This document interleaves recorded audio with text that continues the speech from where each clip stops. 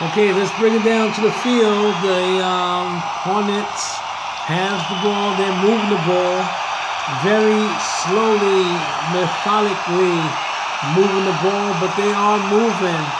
They are feeling uh, the ball is out and trying to see where's the loophole, where's the weak chain, and they're having difficulty doing that, but nevertheless, they are moving the ball. Let's take it down to the field, calling signals.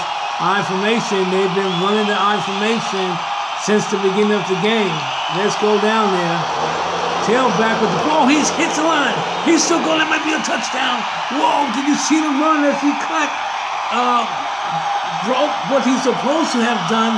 He was supposed to have run up the tackle hole, and then he basically went over uh, the guard hole and he went over the tackle hole and just went along the sidelines and his speed of the uh, number 30, which is amazing, uh, as he took off.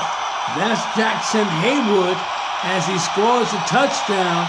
But we'll be back to see whether or not that's a touchdown. Hold on.